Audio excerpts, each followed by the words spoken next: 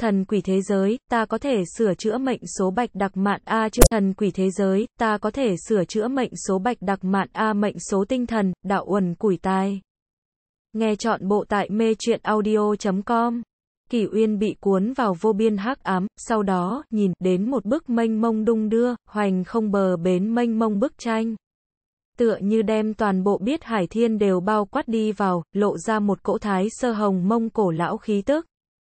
Hoàng thiên, đạo đồ, Kỷ Uyên trong lòng dâng lên một tia minh ngộ, vô ý thức nói ra vật này chi danh.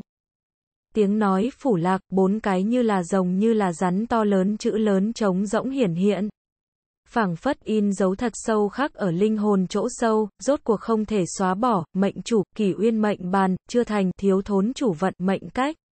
Chưa thành, thiếu thốn cát thần, sát thần, mệnh số, một thanh hai trắng hai xám, đinh hạ chi tư.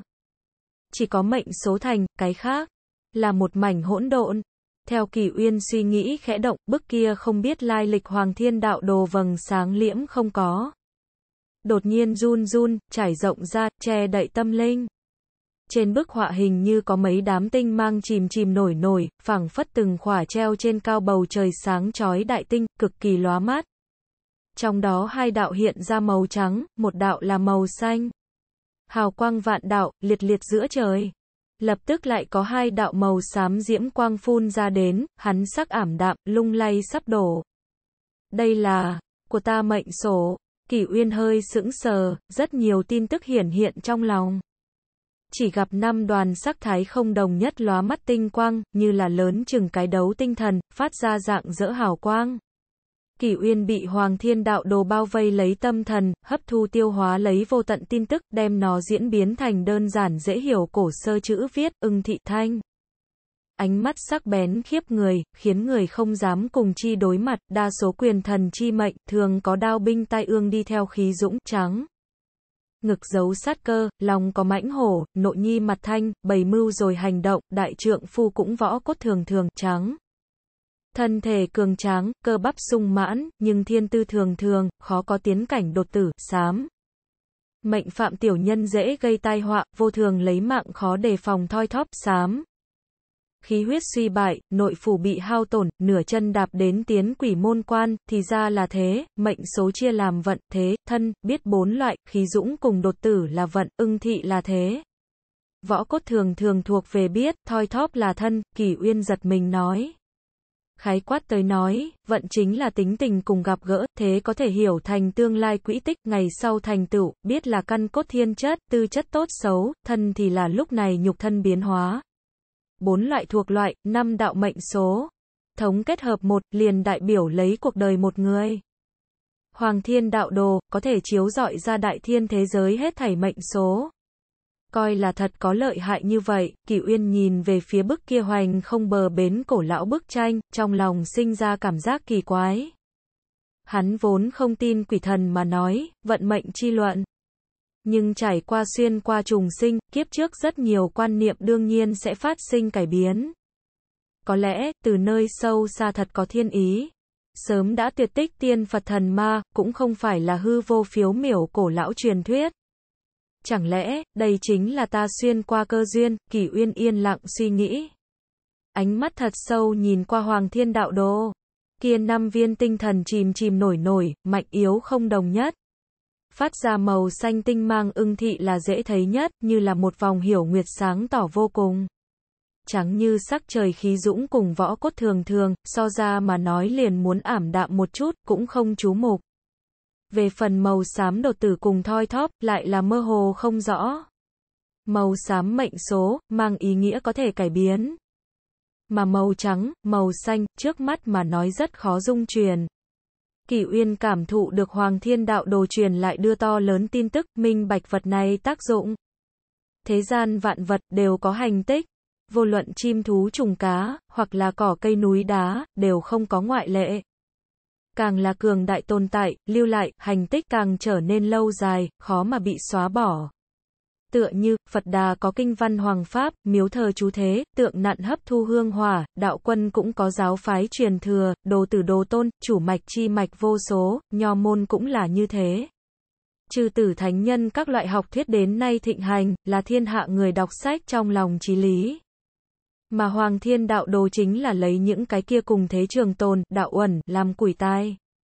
Thiêu đốt mệnh lửa, rèn tạo khí số. Đạo uẩn, từ đâu mà đến, Kỷ Uyên nghi ngờ nói. Bức tranh run run, chấn lên từng vòng từng vòng vầng sáng gợn sóng, hiển hóa từng hàng cổ sơ chữ viết. Vạn vật đều có đạo uẩn tồn lưu. Kỷ Uyên mặt không biểu lộ, cũng không hài lòng cái này cung cấp nói nhảm trả lời, thế là lại hỏi. Vậy ta bây giờ có bao nhiêu? 50 điểm màu xám đạo uẩn. Tựa hồ, đủ, ta có thể cho mình. Cải mệnh, Kỷ Uyên có chút kích động. Đạo uẩn cũng có phân chia cao thấp, như là mệnh số. 50 điểm màu xám đạo uẩn, vừa vặn có thể biến mất thoi thóp cái mạng này số. Hắn xuyên qua đến phương này chỉ tốt ở bề ngoài thế giới xa lạ, hoàn toàn không có xuất thân bằng vào, hay không chỗ dựa chỗ dựa. Chỉ là một tên Bắc chấn phủ ti vân ưng đề kỵ, muốn đối kháng đỉnh đầu cấp trên. Độ khó không nhỏ, cho dù đầu thai làm người, có lịch duyệt, có thủ đoạn tình huống dưới, cũng chưa chắc có thể làm được 10 phần chắc chín.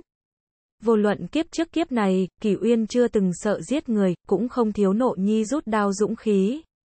Nhưng thật vất vả xuyên qua trùng sinh, cùng một đầu heo mập chơi cực hạn một đổi một, thấy thế nào đều có chút lỗ vốn. Cho nên, hắn trước đây cũng đang lo lắng. Và URL bằng Windows. Location, href, Windows. Puppy giới tác bằng Windows. Puppy giới tác, Windows. Puppy giới tác, Push, Zonet. 7254 ít BGSSP 7254 U URL nên như thế nào giải quyết nan đề bãi bình tình thế nguy hiểm bây giờ có tôn này hoàng thiên đạo đồ tương đương với có ỷ vào chi vật lo lắng lại nhiều thêm mấy phần mệnh số 4 loại vận thế biết thân có khả năng sửa chữa trình độ khó khăn đều không đồng dạng vận thế cơ hồ thiên quyết định không thể lay động Tiếp theo là biết, căn cốt thiên phú, có tiên thiên, hậu thiên phân chia, biến hóa vô thường, cũng vô định số. Dễ dàng nhất là thân, có thể tùy thời cải biến. Kỳ Uyên ánh mắt dừng lại tại thoi thóp bên trên, đây là một đạo phân loại làm thân màu xám mệnh số. Suy nghĩ cùng một chỗ, bức tranh đột nhiên run run, cuốn lên thức hải gợn sóng. 50 điểm màu xám lưu quang bị trống rỗng nắm bắt như là bó lớn củi tài đầu nhập lò. Bành, một cái, hóa thành hừng hực liệt hỏa bốc cháy lên. Hắn màu sắc không ngừng biến hóa, mơ hồ lộ ra một vòng trắng nhạt diễm quang. Cái này là đạo uẩn tác dụng. Như lửa nung khô, ngưng tụ người bình thường nhìn không thấy, sờ không được thiên địa mệnh số. Trong đó còn có mấy điểm chú ý, mệnh số có phân biệt giàu nghèo. Từ trên xuống dưới có thể bao trùm thay thế. Từ thấp tới cao có thể tiến giai thăng cấp. Cả hai ý nghĩa cũng không tương đồng.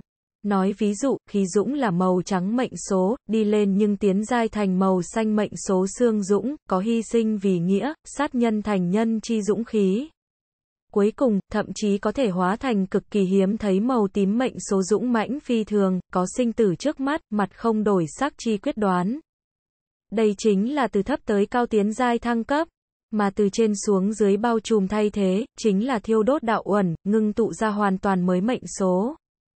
Chất lượng như thế nào, toàn bằng đầu nhập.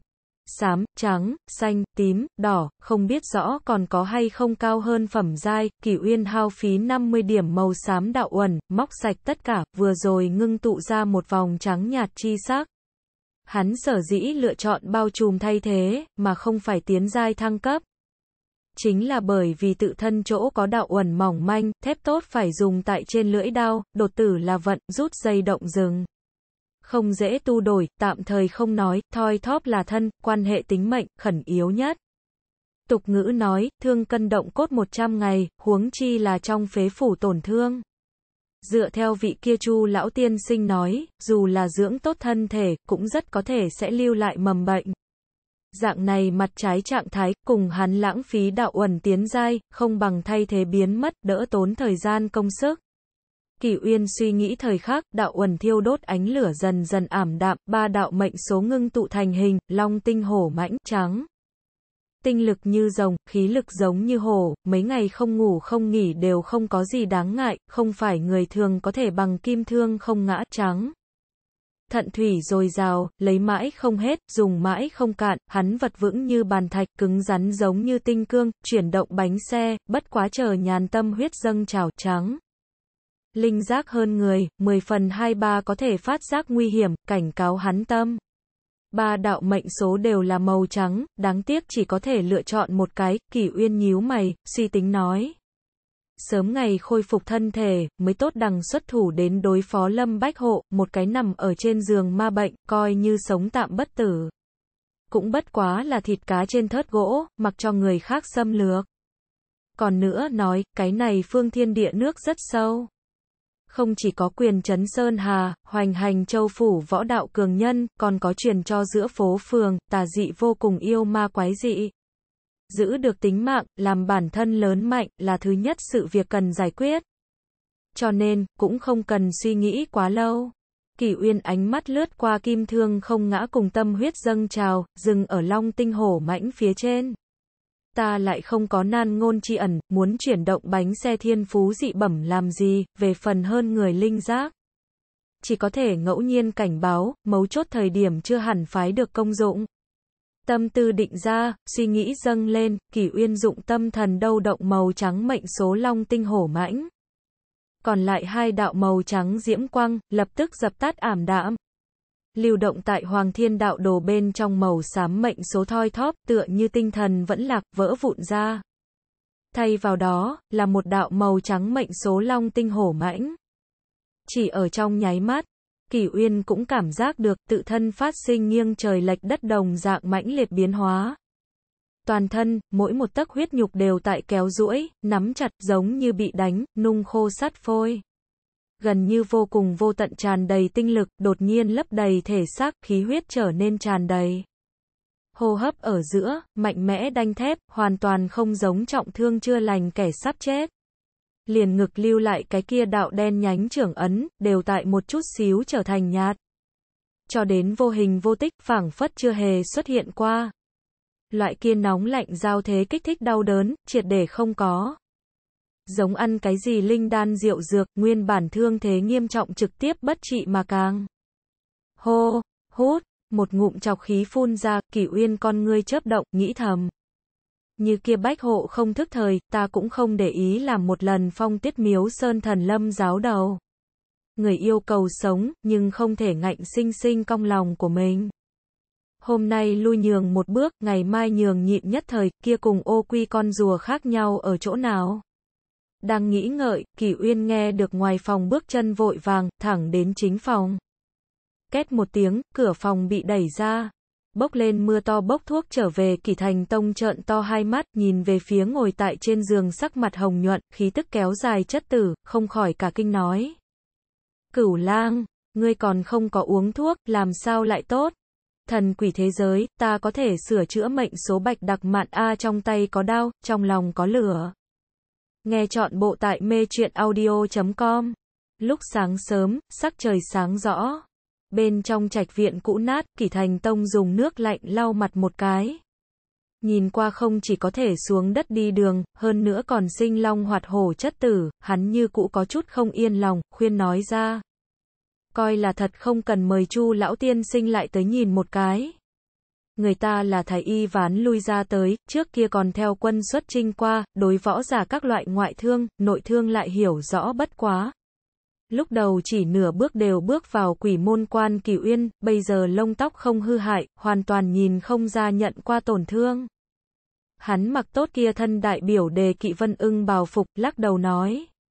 Nhị thúc ân tình càng dùng càng ít, thôi được rồi ta thương thế như là đã khỏi hẳn, hành động không ngại, làm gì lại đi quấy giày chu lão tiên sinh. Thay thế đi màu xám mệnh số thoi thóp, chẳng khác nào khu trừ rơi thân thể mặt trái trạng thái. Tại màu trắng mệnh số long tinh hổ mãnh ra chỉ dưới, kỷ uyên quả thực là tinh thần tỏa sáng. So với trước kia, giống như thoát thai hoán cốt. Có gan toàn thân khí lực gần như vô cùng vô tận ảo giác.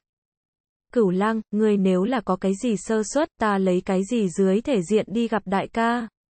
Kỷ ra đến ta thế hệ này, nhân khẩu vốn là đơn bạc, liền trông cậy vào ngươi có thể nối dõi tông đường, kỷ thành tông sắc mặt sầu khổ, như cái tiểu lão đầu giống như nói huyên thuyên. Hắn sớm thành ra lập nghiệp, đáng tiếc đến nay không có con cái, đem Điệt Nhi coi như mình ra. Trong lòng ta nắm chắc, nhị thúc không cần lo lắng. Kỳ Uyên không nghĩ tới bản thân tuổi vừa mới 15, liền muốn bắt đầu đứng trước bị thúc cưới. Có lẽ đặt ở cổ đại, không thể bình thường hơn được. Bất quá đối với vẫn bảo lưu lấy một bộ phận người hiện đại quan niệm Kỳ Uyên tới nói, cái này thuộc về thông đồng vị thành niên thiếu nữ, tâm lý phương diện tiếp chịu không được. Người từ nhỏ là cái này bướng bỉnh tính tình, nghe không vô khuyên, cũng được, Kỳ Thành Tông thở dài một tiếng, biết rõ tự mình Điệt Nhi từ trước đến nay có chủ kiến, ngược lại hỏi. Nói đến, cửu lăng ngươi là có hay không cùng bắc chấn phủ ti bách hộ lâm lộc không quá. Đối phó, gợi lên xung đột, kỳ uyên lông mày nhướn lên, cũng không giấu giếm. Dứt khoát quả quyết đem những cái này người suy đoán cùng chỗ kỳ hoặc toàn bộ cáo chi nhị thúc. Cuối cùng, hời hợt bổ sung một câu.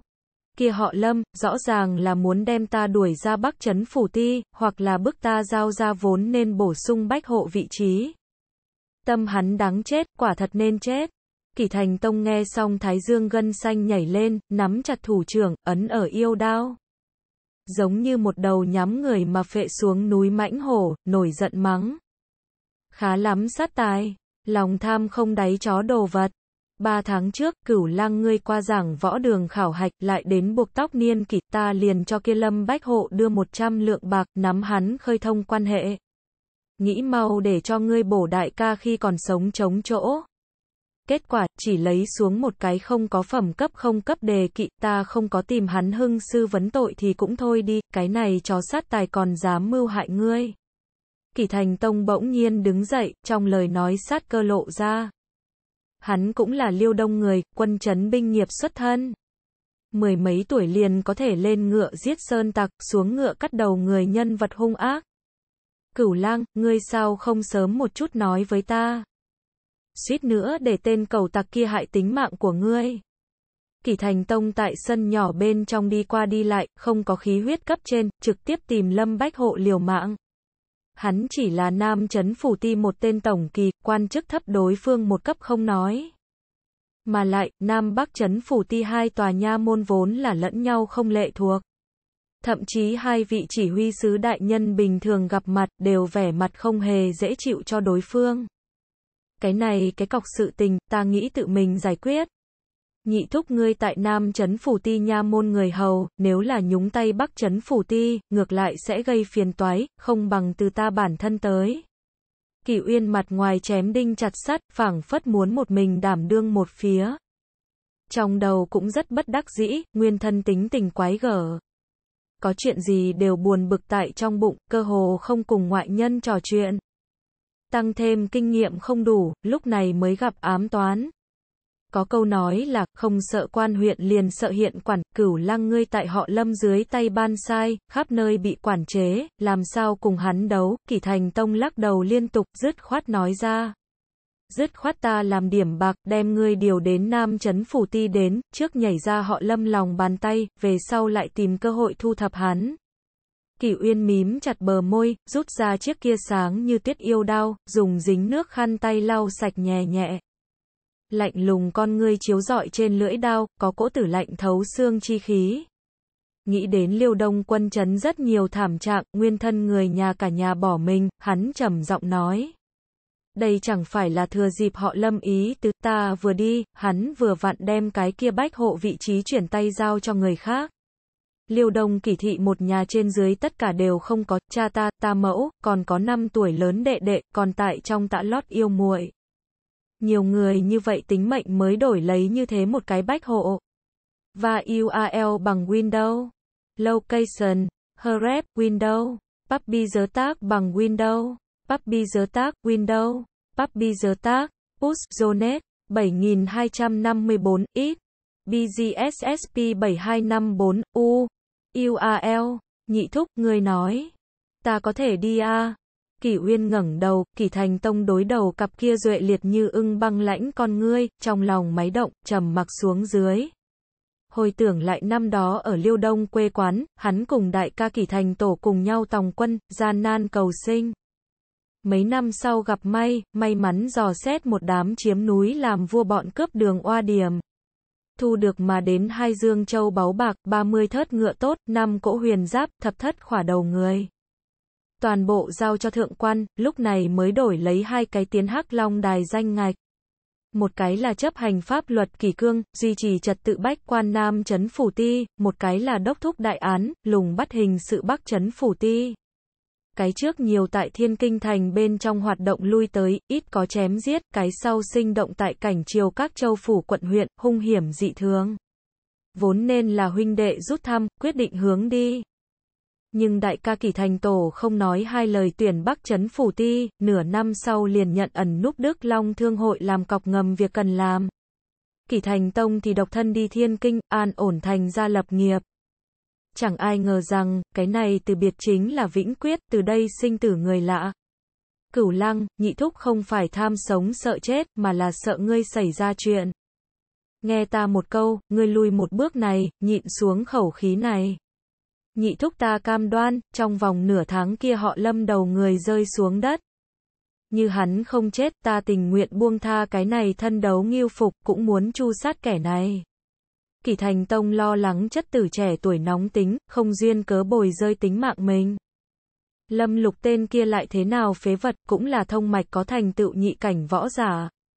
Cửu lang khó khăn lắm qua ngoại luyện một quan, nội luyện chưa thành, liền đệ nhất cảnh chịu phục đều không có bước vào. Hai người nếu là đao binh gặp nhau, thực lực sai biệt to lớn. Nhị thúc ta còn không có lỗ mãng đến đơn thương độc mã giết vào phủ nha, thanh đao gác ở họ lâm trên cổ. Người yên tâm, thật vất vả lội qua liêu đông như thế nhân gian địa ngục tu la sát chàng, ta tiếc mệnh vô cùng, sẽ không nhất thời xúc động làm chút chuyện ngu xuẩn. kỷ Uyên lau xong trong tay yêu đao, ánh mắt bình tĩnh, khẽ cười nói. Nam Trấn Phủ Ti là một đầu đường lui, nhưng ta không muốn hiện tại liền đi, họ lâm ngọn núi này, dù sao cũng phải thử đảo lộn một cái, không phải lộ ra chúng ta liêu đông người không có chồng. Hắn cự tuyệt nhị thúc nguyên nhân rất đơn giản. Tại Hắc Long Đài bên trong, Bắc Đại Vu Nam. Từ Bắc Trấn Phủ Ti điều đến Nam Trấn Phủ Ti, tương đương với bị biếm. Mặc dù có kỷ thành tông che chở tự mình, về sau cũng lại khó ra mặt. Kỷ Uyên là gặp qua huyết hỏa ngoan nhân, đi vào dạng này một phương võ đạo thịnh hành vô biên thế giới. Đối với cái gì an ổn thời gian, cũng không có bao nhiêu ước mơ chi tâm. Trong lòng của hắn rất rõ ràng, càng là pháp luật kỷ cương lỏng, quyền lớn tại lý hiểm ác thế đạo. Càng phải trong tay có đau, trong lòng có lửa. Nếu không, lấy cái gì bảo toàn thân nhân bạn cũ, bảo trụ sống mà làm người kia phần tôn nghiêm. Đứng được cao, thấy xa, mới có thể trôi qua tốt, đi được dài. Cổ nhân nói, người sống tại thế, làm uống rượu ngon nhất, cưỡi mãnh liệt nhất ngựa, ủng đẹp nhất nữ nhân. Ta đời trước uống rượu qua không ít, khác biệt địa phương son phấn liệt mã cũng cưỡi qua, một thế này tự nhiên không thể thua, kỷ uyên ý nghĩ chính là như thế chất phác thuần túy. Người tâm ý đã quyết, nhị thúc cũng không còn nói nhiều cái gì, chúng ta liêu đông tốt đẹp nam nhi, sinh ra liền chưa sợ qua ai. Nhưng là, cửu lăng ngươi cần phải nhớ kỹ một điểm, luyện võ là thà rằng một nghĩ tiến, chớ tại một nghĩ ngừng. Trên quan trường lại không phải như thế, muốn nghĩ nguy, nghĩ lui, nghĩ biến. Có thời điểm tiến một bước sơn cùng thủy tận, lui một bước mới có thể hải khoát bầu trời, kỷ thành tông thần sắc nghiêm túc, nghiêm túc căn dặn. Thiên kinh hùng thành là cảnh triều chi đô, thủ thiện chi địa. Xưa nay không thiếu địa đầu xà, sang sông rồng muốn lẫn vào phong sinh thủy khởi, nhãn lực độc đáo biết cùng lòng dạ can đảm đều thiếu một thứ cũng không được. Nhị thúc dạy bảo ta thời khắc nhớ kỹ trong lòng. Kỷ Uyên đứng tại sân nhỏ bên trong, ngữ khí bình tĩnh lại nói năng có khí phách. Bảy ngày, bảy ngày sau, ta như thủ không được cái này thân đề kỵ vân ưng bảo, liền cam tâm tình nguyện đi nam chấn phủ ti người hầu thần quỷ thế giới, ta có thể sửa chữa mệnh số bạch đặc mạn A tiến thân chi giai, khói lửa nhân gian. Nghe chọn bộ tại mê truyện audio.com. Đợi đến kỷ thành tông sau khi đi, kỷ uyên nghĩ lại một lát, bỏ đi đi nha môn điểm danh dò đường ý nghĩ. Lâm lục là bách hộ, đều nói quan hơn một cấp đè chết người, cứng đối cứng không thể nghi ngờ là dưới nhất kế sách thiết lập ván cục mưu hại tính mạng của ta, loại này sáo lộ chỉ có thể dùng một lần, lần sau liền mất linh. kia họ lâm trong lòng cũng minh bạch, sự tình bại lộ tình huống dưới lại cử động sát tâm, ép, nhị thúc một tờ đơn kiện bẩm báo tam pháp ti, hắc long đài liền bị người chế giễu. Đến thời điểm hắn chịu không nổi, Kỳ Uyên biết rõ tiểu nhân như quỷ đạo lý. Đối mặt âm hiểm chi đồ, càng là rụt rè, càng thụ khi dễ. Như biểu hiện cường hoành, bọn hắn ngược lại sẽ có chỗ kiêng kỵ. Cái gọi là lần yếu sợ mạnh, chính là như thế. Thông mạch cảnh giới. Bắc chấn phủ ti tám vị bách hộ, là thuộc hắn võ công thấp nhất, năng lực kém cỏi nhất. Kỳ Uyên ánh mắt lạnh lùng, bộc lộ chê cười chi ý, lâm lục cái kia bách hộ là dựa vào bậc cha chú ân ấm bổ sung đi lên, cũng không cái gì bản lĩnh thật sự. Mà lại là nhân phẩm tính cực kém, ngày bình thường trừ ăn ra cầm thẻ muốn, chính là nịnh nót. Đặt ở kiếp trước chỗ làm việc thuộc về trong công ty nhất bị chán ghét chó săn thế mà liền một tia đạo uẩn cũng không có, kỷ uyên một bên thu thập gian phòng, một bên dẫn động trong thức hải hoàng thiên đạo đồ, kết quả không có chút nào nửa điểm thu hoạch. Đồ cổ, tranh chữ, thần binh lợi khí, thượng thừa võ công. Xem ra vẫn là phải từ những này trải qua tuế nguyệt, xuất từ danh ra hiếm có đồ chơi tới tay, rút ra đạo uẩn tỷ lệ tương đối cao. Đạo uẩn chi lực cuối cùng là một loại cường đại tồn tại, vết tích người qua ảnh lưu niệm, ngỗng qua lưu tiếng. Những cái kia kinh diễm cùng thế hệ, hoành ép một thế thiên kiêu nhân vật. Cho dù trăm ngàn năm đi qua, chỗ còn sót lại, tinh thần, vẫn sẽ vượt qua thời không. Để hậu nhân sinh lòng cảm ngộ, tiếp tục truyền thừa. Thí dụ như, đứng hàng cảnh triều lục đại thật thống một trong huyền không tự. Nghe nói hắn tổ sư ở phía sau sơn động quật bế quan hơn 20 năm lâu, cuối cùng công thành, đột phá vô thượng cảnh giới. Đồng thời tại trên vách đá lưu lại một đạo sinh động như thật thình lình thân ảnh. Hàng năm đều sẽ có thiên tư hơn người xuất chúng đệ tử, tiến vào bên trong cảm ngộ võ đạo chân ý, được ích lợi không nhỏ. Đây chính là một loại khác loại đạo uẩn. Huyền không tự khẳng định là không có cách nào đi, lục đại thật thống, không thể trêu vào. Nói đến, ta thế mà còn có chút tiền dư, không dễ dàng a. À. Kỷ Uyên thu liễm tạp niệm, ước lượng lấy phía dưới gối đầu lật ra tới túi tiền. Bên trong có tán toái ngân quả tử 15 lượng, chân giường dưới đáy hộp trang sức từ bên trong, còn chứa 8 sâu tiền. Đây đều là vừa rồi thu thập gian phòng niềm vui ngoài ý muốn. Đáng tiếc, đối với người luyện võ mà nói, miễn cưỡng đủ bản thân ăn uống thôi, Kỷ Uyên lắc đầu, thu hồi ý cười. Hắn chính ở vào một cảnh chịu phục ngoại luyện giai đoạn, mỗi ngày ăn uống tốn hao không ít. Tục ngữ nói, cùng văn phú vũ. Mỗi ngày rèn luyện thân thể, lượng cơm ăn tự nhiên tăng nhiều. Như ăn không lên thịt, liền nuôi không giận nổi lực. Cổ nhân có lời, người ăn thịt dũng cảm mà hung hãn, người ăn rau trí tuệ mà xảo, thực khí giả thần linh mà thọ. Trong này ẩn chứa võ đạo tu hành không thay đổi trí lý. Ăn cái gì, quyết định cá thể có thể có bao nhiêu cường đại. Ân, cái này rất phù hợp đại ăn hàng đế quốc phong cách. Võ đạo đệ nhất trọng, phục khí cảnh giới, chia làm ngoại luyện, nội luyện, ta lúc này mới ra ngoài luyện giai đoạn, thời gian rèn luyện gân xương ra rẻ, lượng cơm ăn quá lớn. Nghe nói nội luyện càng thêm tiêu hao tiền bạc, muốn ăn bổ khí mạnh máu dược thiện, ăn thiện, mới có thể đi vào bước thần tốc, hiệu quả rõ rệt. Kỷ Uyên nghĩ nghĩ, chợt cảm thấy đến võ đạo con đường này, hoàn toàn chính là cái khác kim chức nghiệp.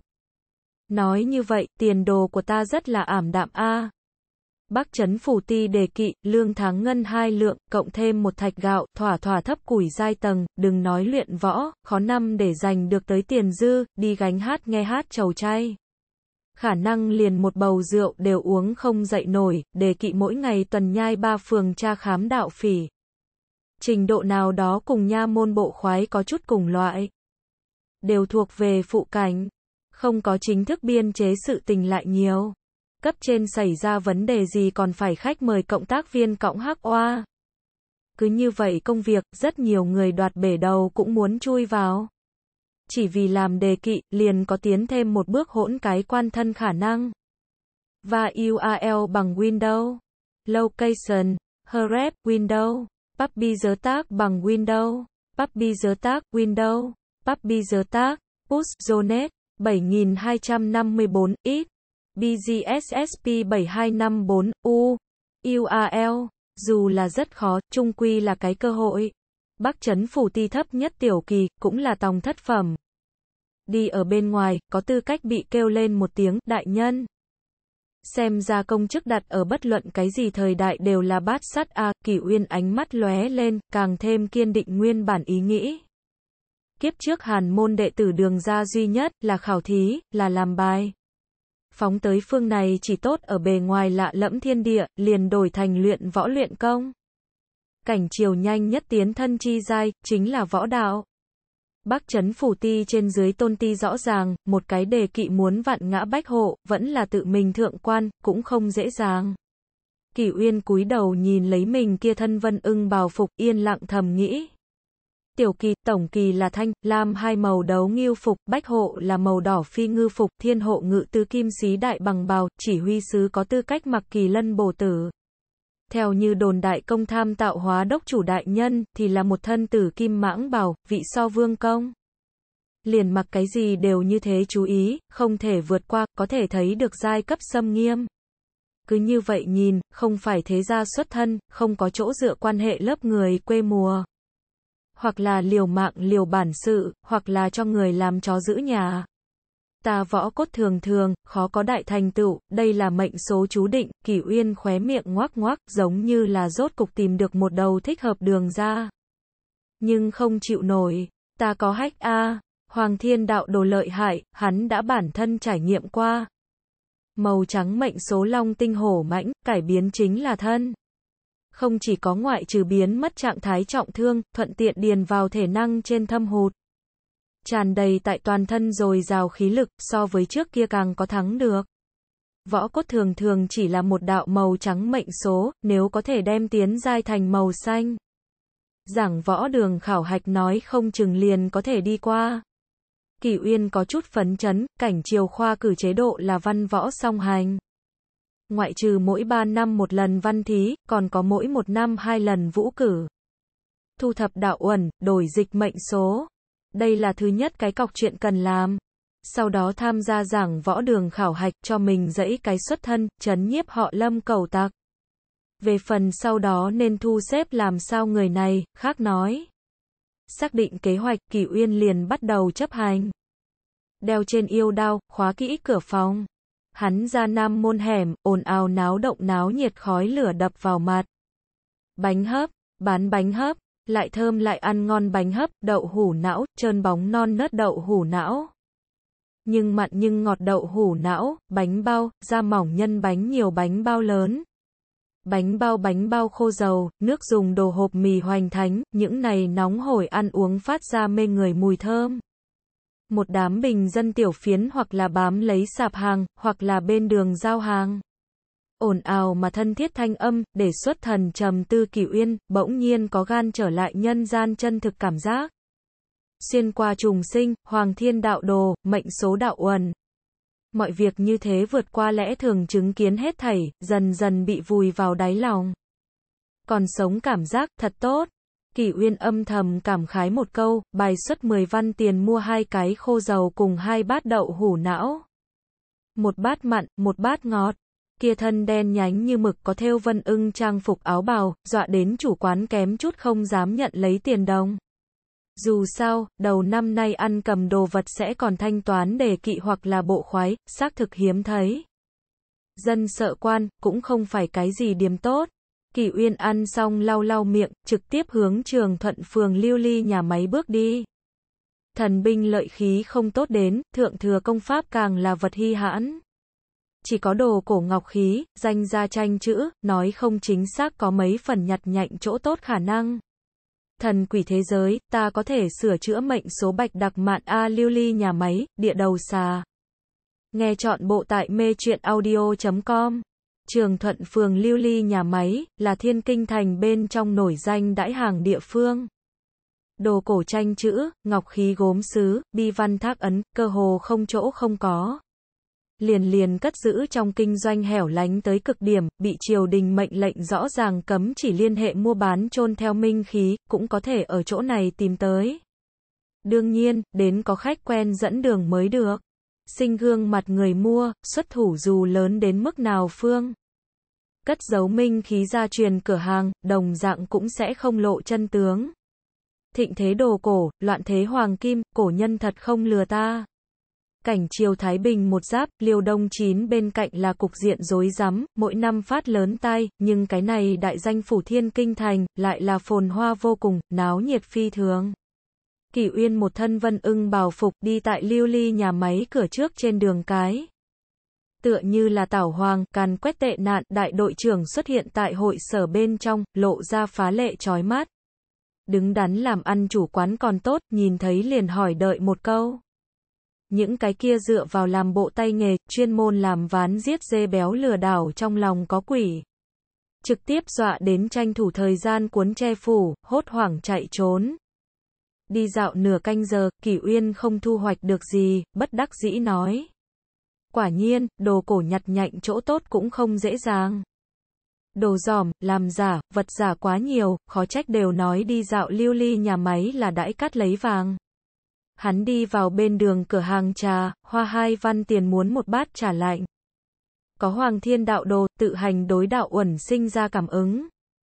Ai làm thật phẩm, ai là đồ giỏm, một chút liền có thể nhìn ra.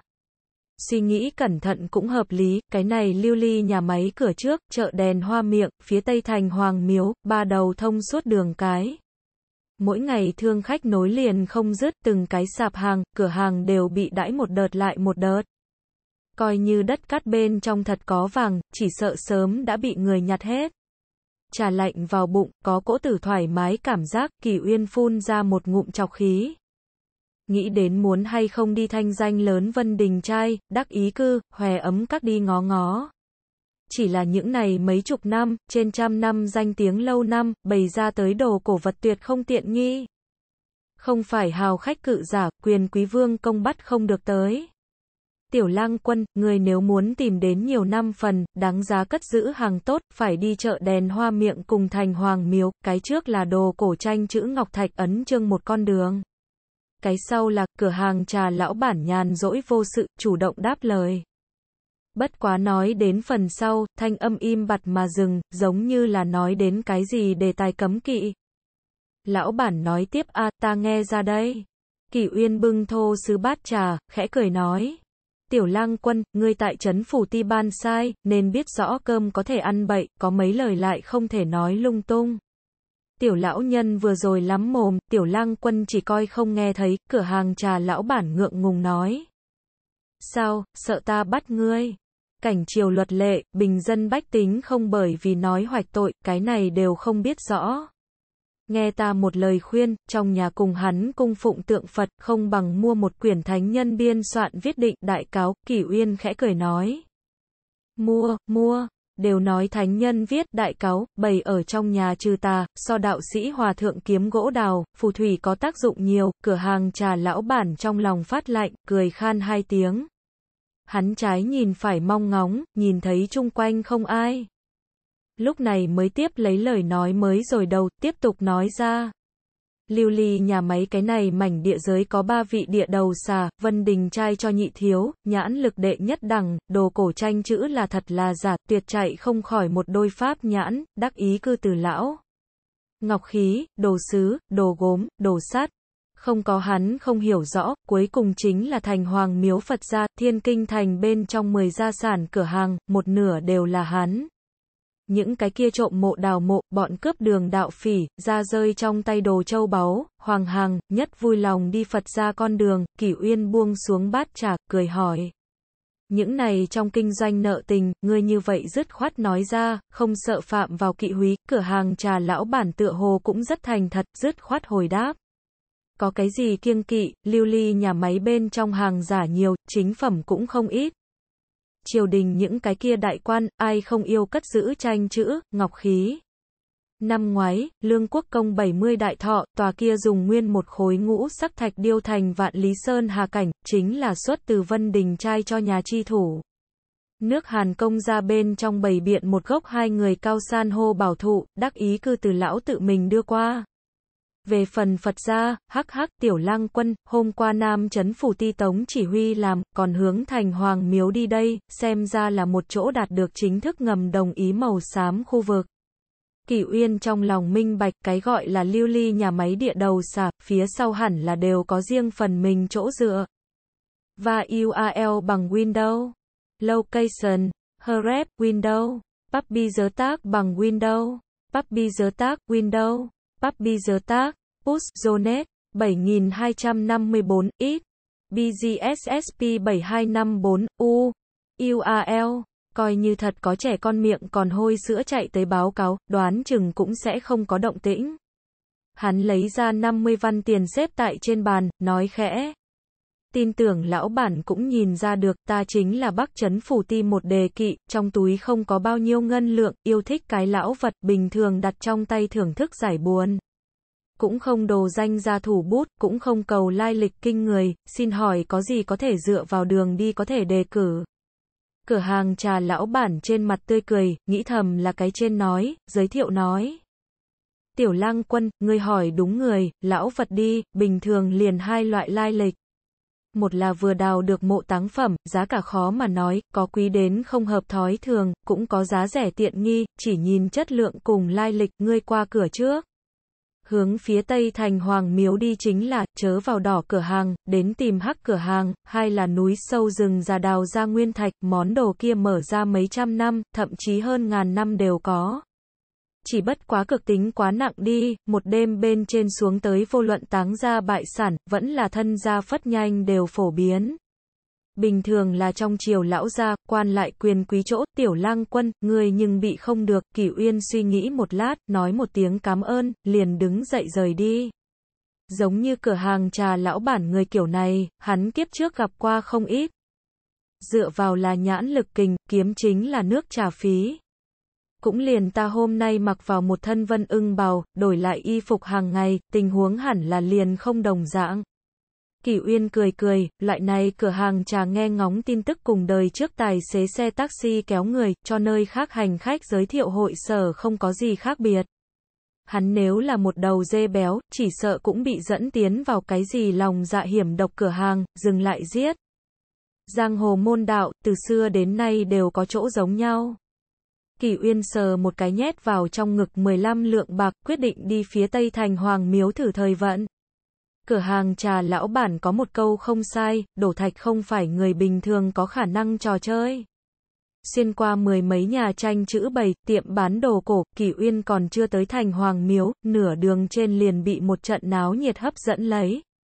Chỉ gặp đại danh đỉnh đỉnh vân đình trai cửa ra vào đầy ắp người, một vị thân mang cẩm bào trung niên nam tử lỗi lạc mà đứng, trước mặt là một trương tử đàn án thư. Người kia mở ra một quyển cổ họa, cất cao giọng nói. Chư vị, vị này khách nhân nói này tấm bạch cốt Bồ Tát cực nhạc dạ yến đột chính là 150 năm trước quỷ tiên thẩm hải thạch bút tích thực, hy vọng để Vân Đình trai làm giám định. Ta hôm nay vừa vặn có rảnh, liền làm lấy lão các thiếu gia mặt, nói lên nói chuyện. Các ngươi nhìn a, khoản này pháp trương dương hoang đường, không bám vào một khuôn mẫu, đem bạch cốt Bồ Tát yêu ma ý vị phác họa mà ra, làm cho người gặp chi sợ hãi. Hắn hạ đông đảo quỷ quái không một nói hùa, từng cái rất thật, đúng là một bức hiếm có. Làm giả, vây xem đám người lúc đầu nghe được say xưa ngon lành, kết quả không nghĩ tới Vân Đình trai cho nhị thiếu lại còn nói là đồ giòm. Một mảnh xôn xao, trong đó buồn khổ nhất, đấm ngực dậm chân người, không ai qua được vị kia tốn hao 370 lượng bạc mua xuống bức họa này thương khách. Hắn thao lấy một ngụm long nam khẩu âm nổi giận mắng đáng giết ngàn đao cầu tặc, dám dùng giả đồng ý lừa gạt, đừng để lão tử gặp lại ngươi. Không phải nhất định phải lột ra hủy đi xương, để tiết mối hận trong lòng. Lưu ly nhà máy ai không biết, cho nhị thiếu dám bảo bản sự. Đã hắn đều cho ra làm giả đánh giá, vậy thì đồng nghĩa với là hạ phán đoán suy luận, không cần lại ôm lấy huyễn tưởng. Lúc này, xem náo nhiệt người qua đường bên trong bỗng nhiên có một thanh âm vang lên cho nhị thiếu làm sao phán đoán đây là làm giả, phong độ nhẹ nhàng trung niên nam tử mỉm cười, tự tin nói ra. Thế chỗ đều biết, thẩm hải thạch tinh thông yêu ma tinh quái, công nhận tốt nhất ba bức truyền thế danh tác, là bạch cốt Bồ Tát cực nhạc dạ yến đồ, mỹ nhân họa bì đồ, thiến nữ u hồn đồ. không khỏi là âm khí âm u, ma phân dày đặc, đồng dạng chỉ làm cất giữ chi dụng, không thể dùng tại chấn trạch, sợ hù đến người, rước lấy không sạch sẽ đồ vật. Cũng bởi vậy, thẩm hải thạch họa tác giá trị rất khó kết luận. Cái này một bước làm giả bức tranh bút pháp tinh xảo, cơ hồ có thể dĩ giả loạn chân, là cái người trong nghề. Nhưng hắn lại không để ý đến một điểm, thẩm hải thạch một thân không chỉ có tinh thông họa kỹ, còn là một vị khắc dấu đại sư. Mỗi một bức họa làm đều sẽ lưu lại đặc hữu tên khoản con dấu, hình như mây văn, rất được đạo gia phù lục tinh túy, ngoại nhân tuyệt khó bắt trước. Thao thao bất tuyệt xong xuôi, được xưng, cho nhị thiếu, trung niên nam tử nhấc ngón tay hướng họa tác phía dưới lưu ấn chỗ. Quả nhiên, cùng trước đây nói tới đặc thù tuyệt không tương xứng. Đám người bừng tỉnh, đều thán phục cho nhị thiếu nhãn lực cao minh. Vậy theo Vân Đình trai cách nhìn, này tấm làm giả giá trị bao nhiêu, cái kia đạo trong sáng thanh âm lần nữa truyền đến.